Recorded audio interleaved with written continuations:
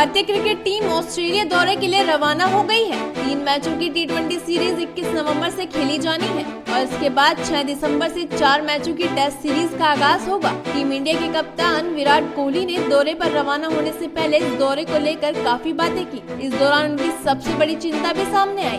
विराट ने कहा, हमारे गेंदबाज इस समय लगातार अच्छा प्रदर्शन कर रहे हैं। और ये बात इंग्लैंड दौरे में सामने आई थी। बल्लेबाजों को भी अपना फोकस सुधारना होगा। टीम के लिए रन बनाने ही होंगे। इंग्लैंड और दक्षिण अफ्रीका में टेस्ट सीरीज़ के दौरान गेंदबाजों ने शानदार प्रदर्शन किया था, लेकिन विराट को छोड़कर बाकी बल्लेबाजों ने निराश ही किया।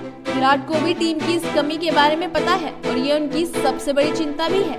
विराट ने कहा, इस दौरे पर हमारा फोकस इस बात पर रहेगा कि बल्लेबाज एक यूनिट के तौर पर अच्छा प्रदर्शन करे। मैं आपको बता दें, जब विराट से पूछा गया कि ओवरसीज खेलने को लेकर टीम इंडिया के प्रदर्शन में कितना सुधार हुआ तो उनका जवाब था, हमारे खेल में सुधार ज़रूर आया है, लेकिन अभी भी सुधार की बहुत गुंजाइश है। ज़रूरी है कि टीम में हर इंसान अपनी ज़िम्मेदारी को समझे और उसे अच्छे से निभाए भी। इंग्लैंड में हमसे काफ़ी चूक हुई। इस पर जब हम बात करने बैठे तो ऐसी कई कमियाँ सामने आई, जिनमें हमसे गलती भी हुई थी। लेकिन अब ऑस्ट्रेलिया दौरे पर हमें इन्हीं गलतियों से सबक लेना होगा। यानी विराट कोहली ने बल्लेबाजों को लेकर अपनी चिंता ज़ाहिर कर दी है। अब देखना होगा ऑस्ट्रेलिया दौरे पर इंडिया के बल्लेबाज क्या कमाल करते हैं। तो आप भी सीरीज़ पर अपनी नज़र बनाए रखिएगा। साथ ही हमारे चैनल हेडलाइंस स्पोर्ट्स को भी फ्री में सब्सक्राइब कीजिएगा।